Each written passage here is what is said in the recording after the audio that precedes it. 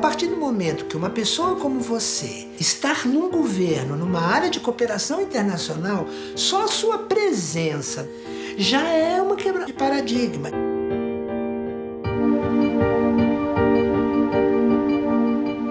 Eu sou uma mulher, um corpo de homem. Pô, se eu vi isso há 30 anos atrás, do seu irmão, você não poder fazer nada.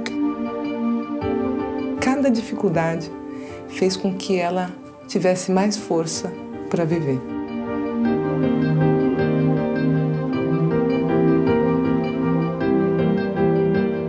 Todas as pessoas que vivem com HIV têm que conhecer a história dela.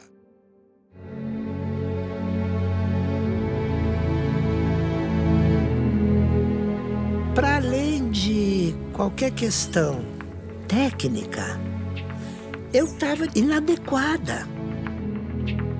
Me recordo até a primeira vez que a gente se viu. Bati o olho e falei assim: já sei que ela é ela. Tô falando de mim, eu tirei o pênis da minha vida. Pronto. Tudo fluiu.